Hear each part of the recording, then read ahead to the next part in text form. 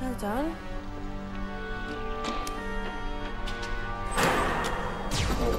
Your lords and masters.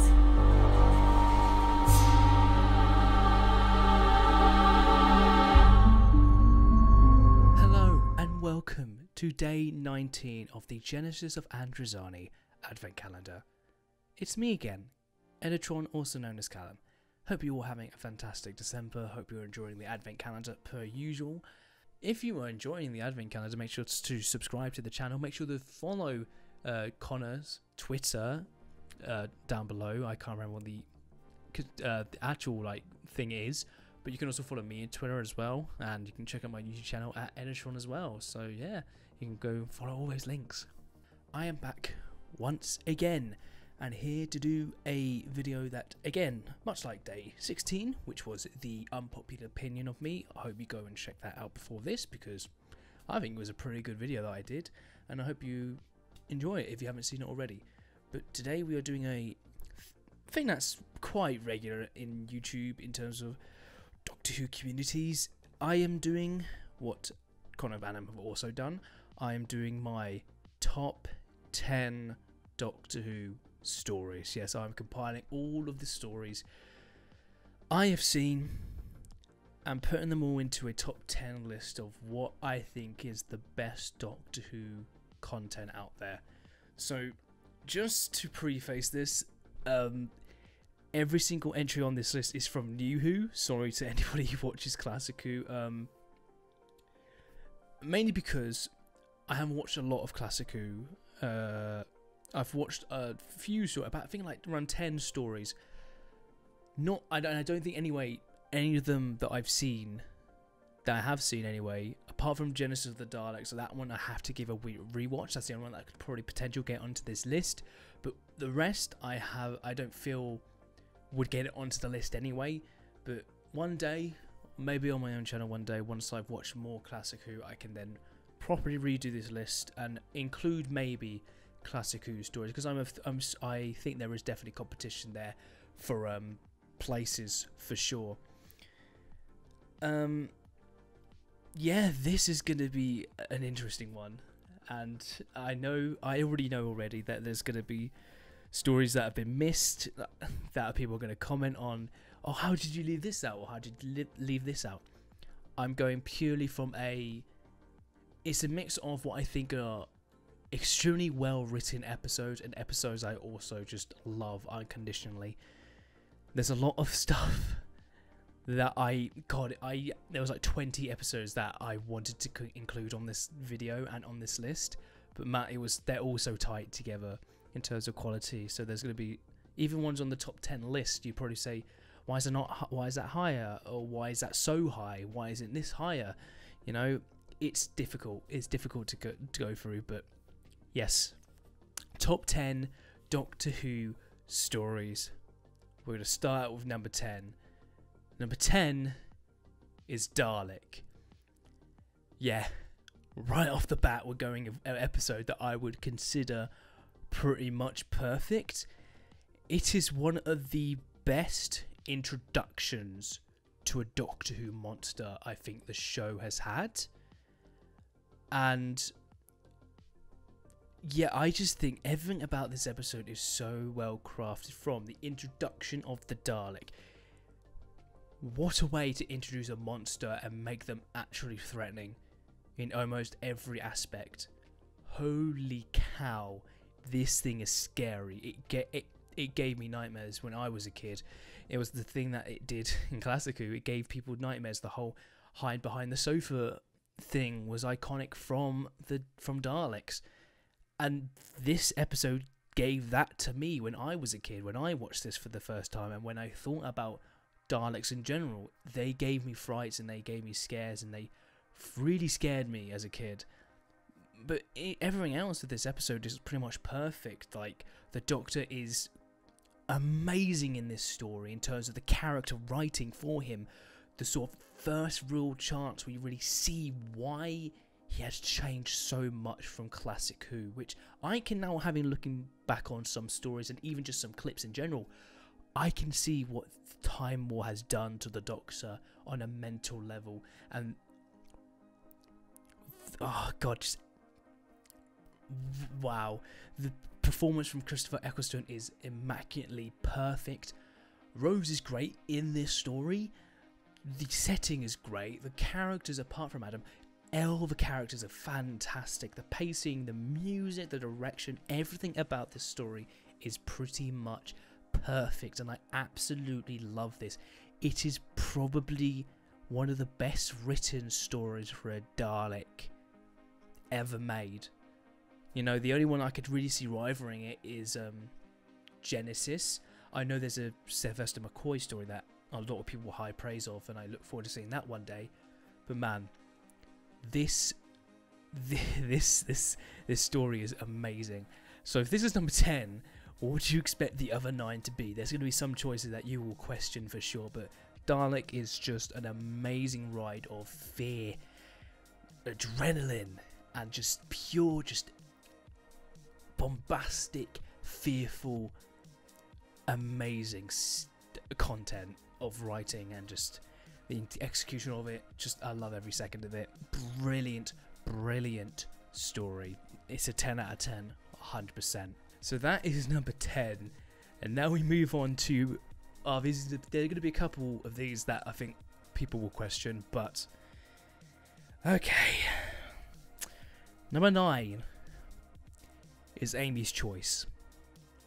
I think I'm quite known, not so much lately. I think there's a lot of people that um, have not seen me talk about this episode a lot, but Amy's Choice, without a doubt, is my favourite episode of Series 5. And I will say, 11th Hour was so close to getting onto this list because I've recently rewatched it, and man oh man, it's so good. It is so good.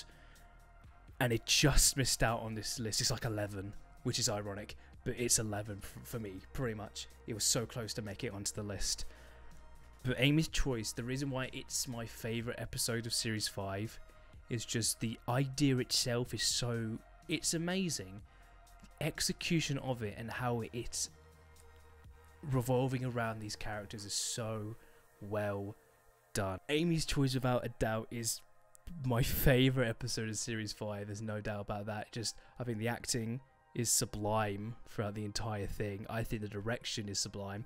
I think the cold that cold open is probably my favorite in Doctor Who because I just love everything about it. And the final line of Matt going, "This is going to be a tricky one." Oh, just that is the icing on the cake. That's the cherry on top of the cold open. Just absolutely love it. The Dream Lord, Toby Jones. Holy cow, is he good?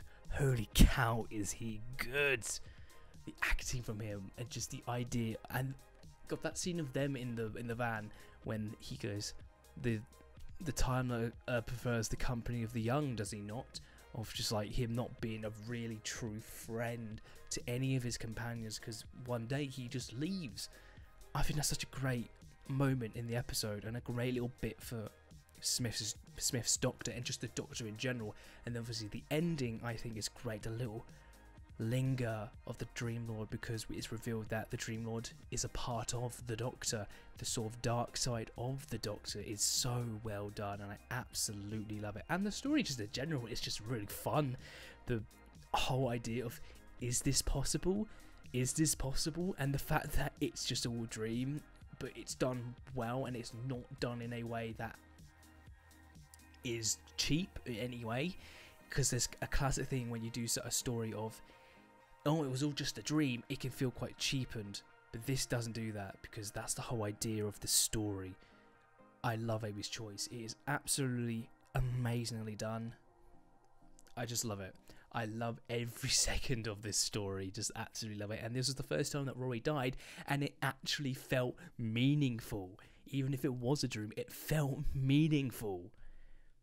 Acting in this in this episode is great, fantastic. Love Amy's Choice in, like incredibly underrated, incredibly underrated. So now my number eight is Gridlock, which is an episode that obviously, of course, everyone have seen on this channel at the time of recording this. Is the last episode that both Connor, Adam, and Jake have all reacted to. And I'm in the same boat as them, where I think this episode is vastly underappreciated and is one of the best written stories in the show, without a doubt.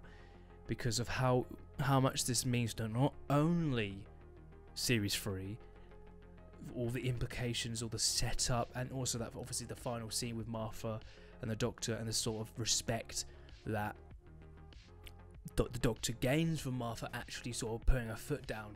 Amazing moment, but not only is the story so well paced, so well written, and the actual themes of the episode that work with those elements create a beautiful episode. And then we get to the final scene of this episode where the Doctor, where David Tennant becomes the Doctor truly for the first time. And that isn't me saying that in Series 2 he wasn't.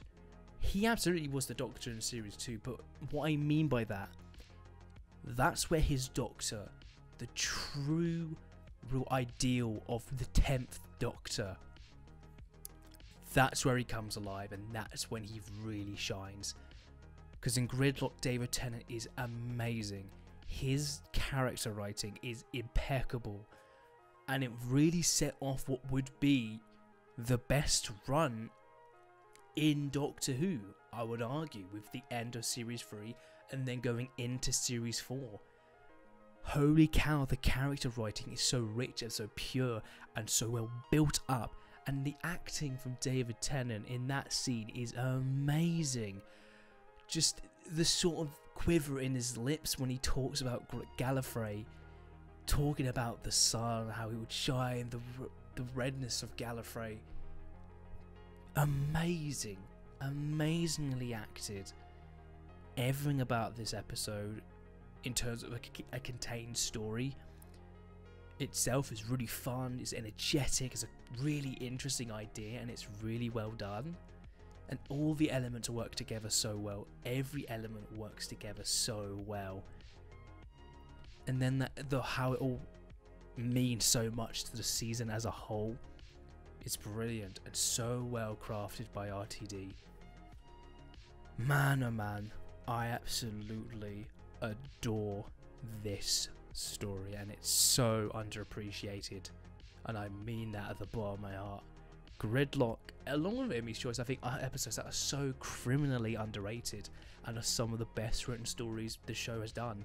And I think more people should pay attention to those stories because the actual writing, the actual writing that's done, is incredible to watch.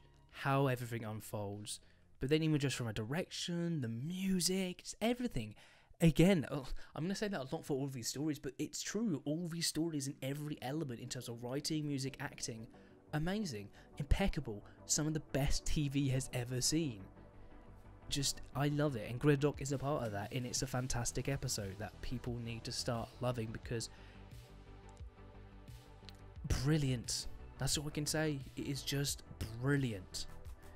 I love Gridlock and I love Seven even more, which is an episode that I've gone, I would say, even more so. For Adam, Gridlock is that sort of episode where it's so important for a character, which is the 10th Doctor and Martha. My next one is my version of that. Despite obviously Gridlock being one below it, and I have similar feelings of it. my number seven is the Fires of Pompeii. This is, I would argue, this is the this is the most this is the most incredibly underrated episode in Doctor Who, and one of the most underrated episodes of TV ever made.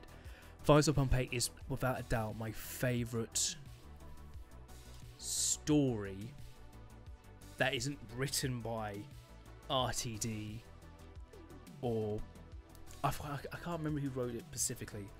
It's not something, but Fires again. Fires of Pompeii is beautiful. It is tragic.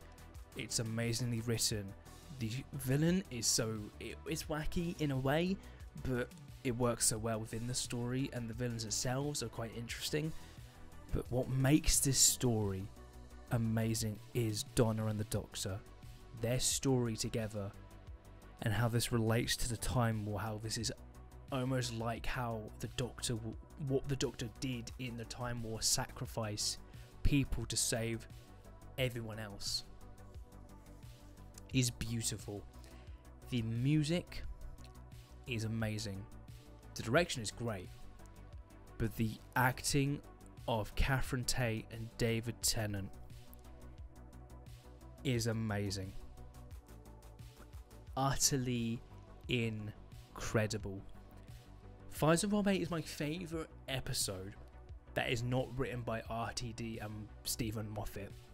I've put um, an episode higher than this that isn't written by either of them because I think, in terms of an objective level and an objective standard, it is better.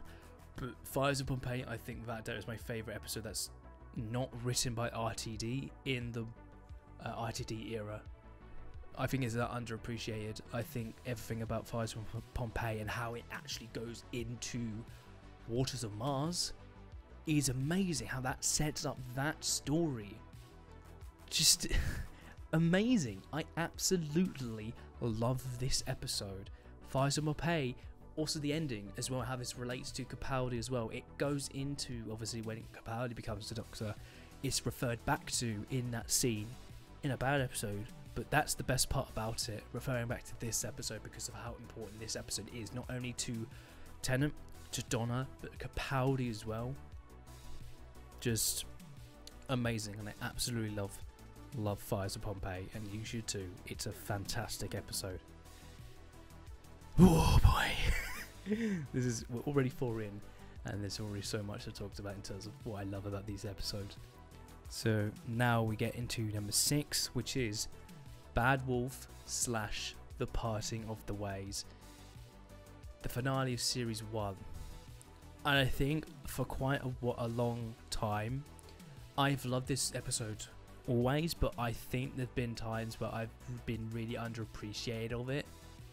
And I think recently I've sort of come to light that this story is so well done within Series 1. Not only is it a great thrill ride, and not only is it the Daleks properly being back and being so threatening and scary and just vicious and violent. How this connects everything in Series 1 is amazingly done. What Russell does in all his finales is how he connects the world to the overarching story is incredible and I don't know how he does it sometimes but he did it, and he hit home run in season one, in series one. Just wow. The fake out of Rose's death is brilliant. How they set her up is brilliant with Lydia, uh, obviously with the Doctor, and they're actually you believing that they've killed Rose is actually incredible. How that's done. Captain Jack Harkness is absolutely so funny in Bad Wolf, so amazing as well. And obviously, in Parting of the Ways, he's also that. Just so. Oh, I just love every character. The Doctor in that final scene with the Daleks and Rose coming back, and then the sort of kiss they have, which actually has been building up romantically because there are scenes in series one that actually build to that moment. But then we get the final scene with Eccleston, which is probably the most beautiful, I think, regeneration scene because it's this arc of nine becoming this kind of bitter and lone wolf kind of person. To have that scene of not forgiving himself but letting himself be happy and letting himself die happy and the final lines like and you know what? So was I. Saying he's fantastic is beautiful. I love it. I love that scene so much. And obviously, we get the introduction of Tennant. There's also great stuff. The game shows in Bad Wolf are just so amazingly well done. It's so funny. I love all of them. The Weakest Link is fantastic. The Android, amazing. Obviously, got Big Brother, which not much was actually done in that, but it's still quite funny. And then you obviously got the show Jack was on, which I can't remember what the show was actually called that it was referencing, but that was amazing just for Jack. Beautiful and fu- and funny, beautiful and funny, amazing, love it. So yeah, this is probably one of the. It's definitely one of the best finales and one of the best written finales. Russell totally outdid himself in this uh, in this story. Amazing. Love Bad Wolf slash The Party of the Ways. 10 out of 10. So now we move on to number 5. Number 5 is The Empty Child slash The Doctor Dances. Moffat's first ever story for Doctor Who. Officially, because he obviously did the spoof. This is such a art house story, and everything about it is great. The Empty Child, a very dark, dingy, sort of gritty kind of first episode with a, a scary premise of you becoming just a zombie in a sense, but it's such an iconic villain in the Empty Child slash Gas Mask Zombies. Gas Mask Zombies, sorry. And part one is just amazing. The introduction of Captain Jack, we just obviously talked about him, but he is fantastic in this, being quite likable but dislikable at the same time, and that's throughout the story. Nine is great in this, the sort of detective aspect of this episode. Nancy's a really good character and has so much well established motivation and character stuff in this, and it's fantastic to see. The direction is great, the music is fantastic. Just both of those things are beautifully done. I love both of them. Holy cow, they're so good. And then that's the same with the Doctor Dances when it, it's ending and the reveal of everything is so well done. And the ending of the episode, the first time for the Doctor since the Time War where everybody lives, is a great moment.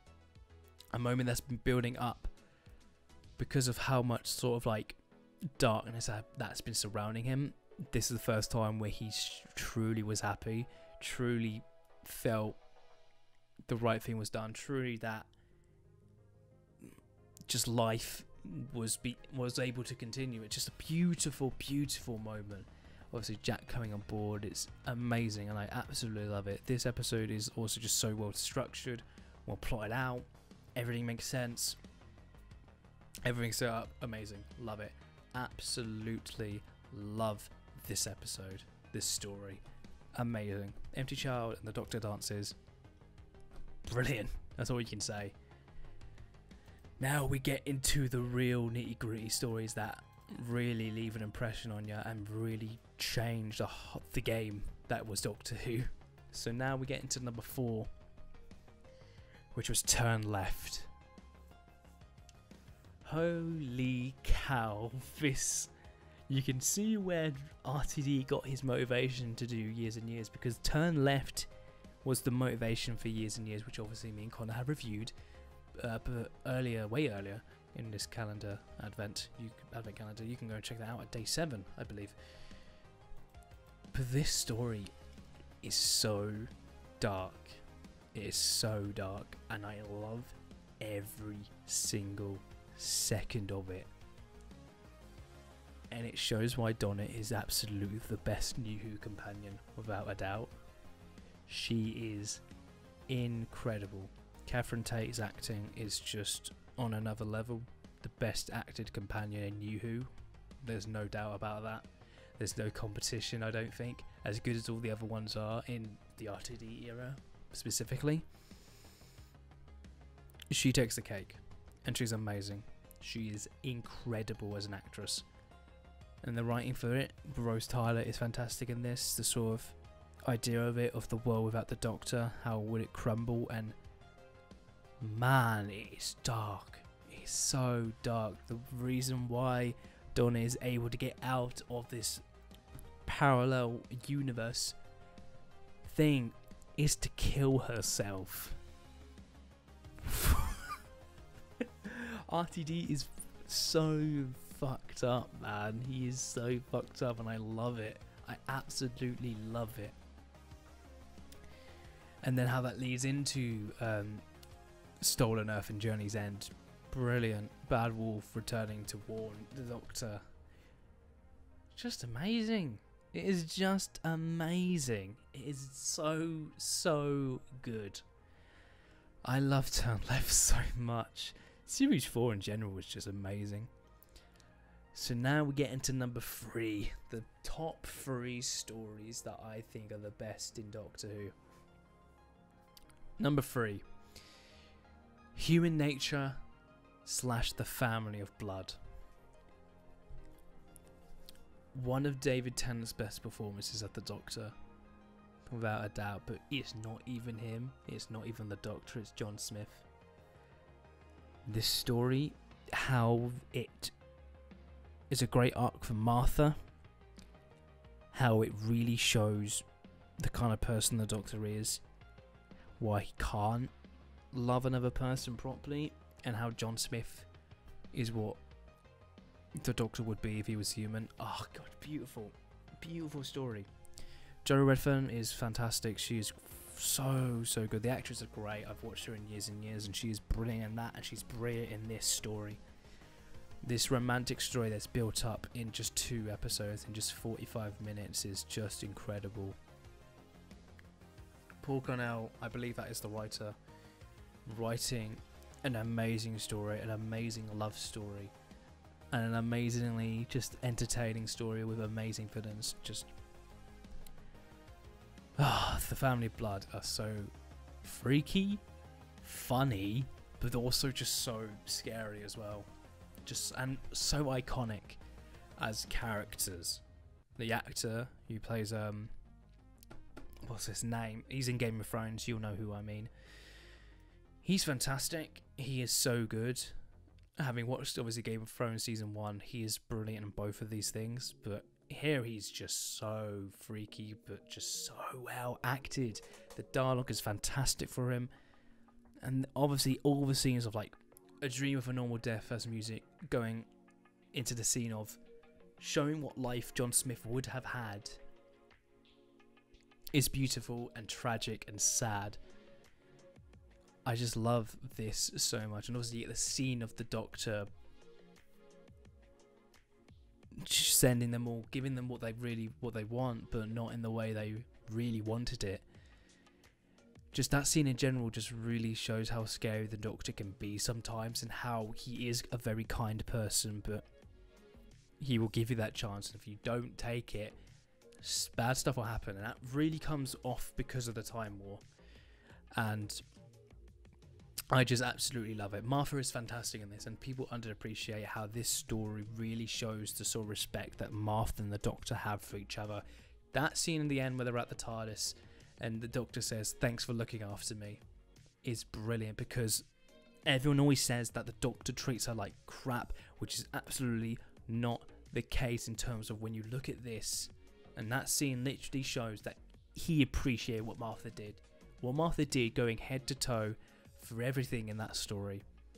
Trying her best to take care of the doctor and to try and figure out a way to get out of it. Just trying to do her best. But the doctor knows and appreciates what she did. And the fact that people ignore that is so annoying. Because they always say that the doctor treats her like crap.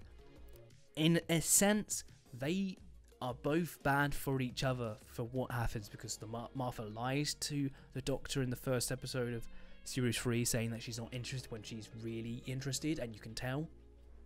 And the Doctor taking to the places that he that she that he took Rose, the sort of rebound aspect is very much a part of the story, and it's done on purpose. But as the story goes on, he, like with uh, Lazarus Experiment, great scene at the end where she doesn't want to be a passenger, and then he respects her enough to not treat her like one. But then we get to Human Nature and Family Blood, where she really comes out because she admits she loves the Doctor romantically. And we see in this story that he can't ever have that because of who he is. It's beautifully done. And a lot of people need to start really seeing what the story that Russell was doing in series 3 because it's massively misunderstood and really underappreciated. And Martha's a fantastic companion. She is better than Rose, not as good as Donna, but she is great. Fantastic, fantastic character that people, so many people underappreciate. She is one of the best Doctor Who companions to be ever done. And a lot of people just ignore what actually happens in the story and just say the Doctor treats, treats her like crap when that is not the case in terms of what actually is happening in this story in all of Series 3.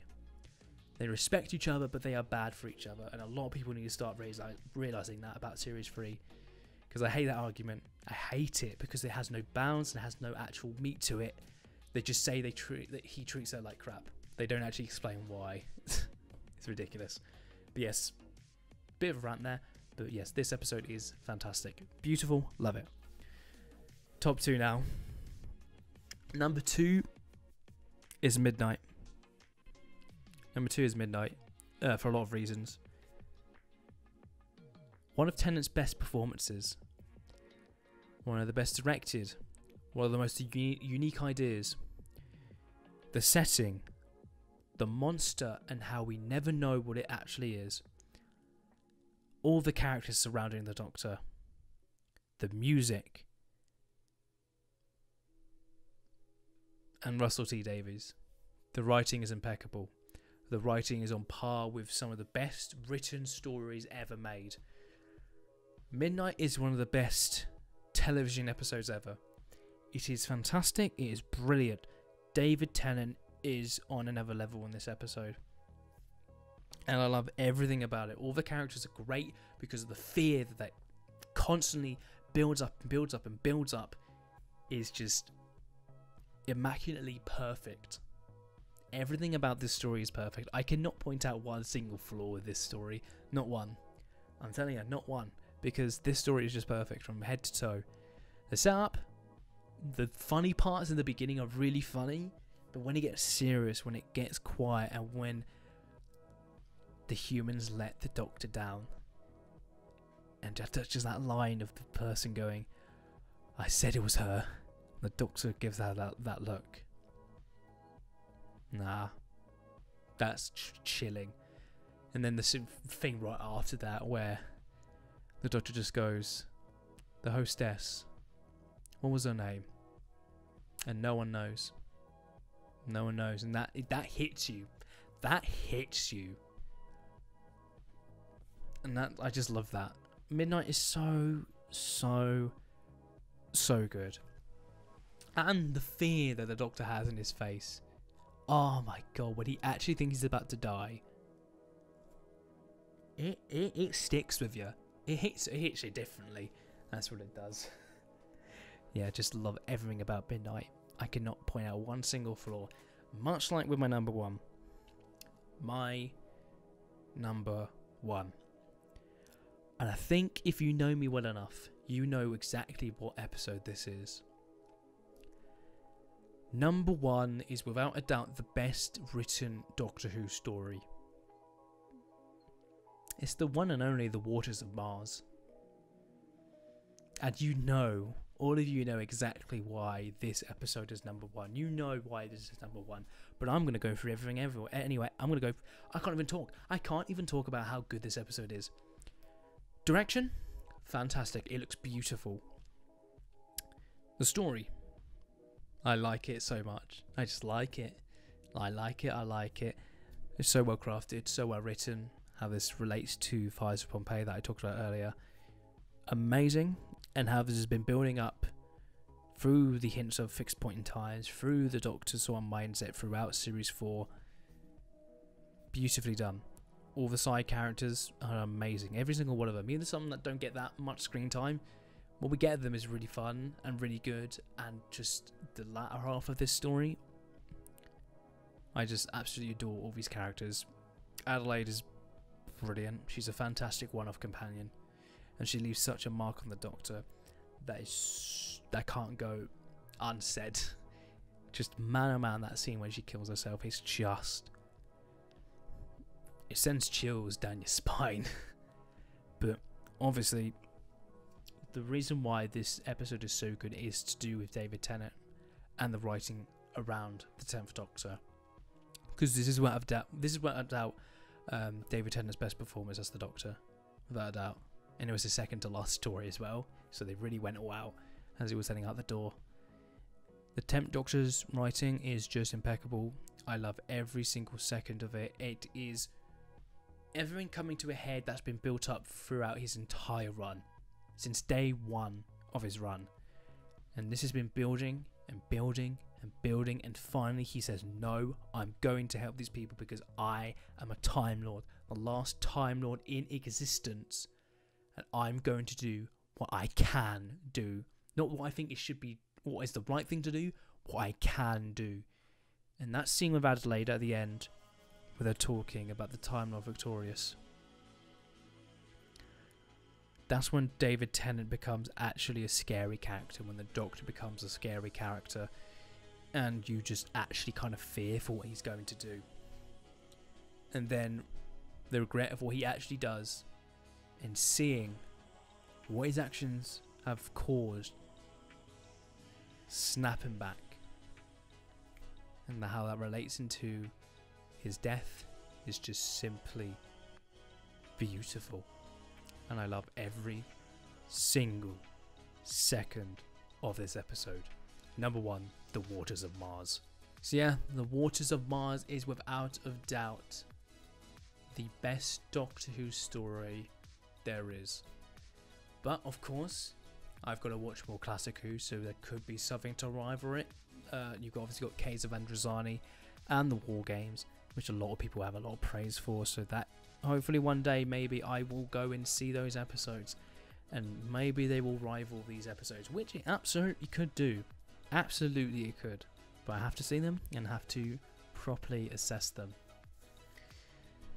But yes, that is my top 10 list of uh, Doctor Who stories. So we got 10 Dalek, 9 Amy, Amy's Choice, 8 Gridlock, 7 The Fires of Pompeii, 6 Bad Wolf Parting of the Ways, 5 The Empty Child and the, and the Doctor Dances, 4 Turn Left, 3 Human Nature and the Family of Blood, 2 Midnight, 1 Waters of Mars.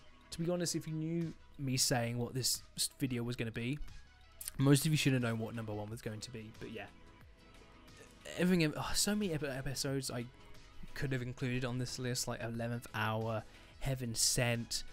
Uh, Boomtown had a shout because I think Boomtown is fantastic, but yeah, so many stories I could have gone onto this list that didn't, but could have absolutely. There's so many great stories in the show, but you can tell that only one of these stories in the top ten are um, from the Moffat era. Obviously, you have uh, Empty Child, that was obviously written by Moffat, but you can tell that I think the Russell TD, the RTD era, is so well done, and there's so many great, great, great episodes in there. Just so many good stories, amazing. But obviously, I've gone over all of it. What is your top tens? I would really like to know. And what do you think of my list? Do you think I've really, really just sort of let my RTD bias shine through, but I feel like that when I'm really looking at these stories objectively and the writing for most of them, because I think Fires Pompeii, I subjectively would put it higher, but I want to have a mix of it being of what the actual quality of these episodes are and what I also love. But yeah, if you disagree with my list, let me know what you think I should change and what you, your lists are. Uh, thank you guys so much for watching. Thank you to Connor for allowing me to be on the channel for another day. You're probably all getting sick of me already. Uh, but yes, thank you everyone so much for watching, and we will see you for day 20 of the Genesis of Androzani Advent Calendar. We will see you then.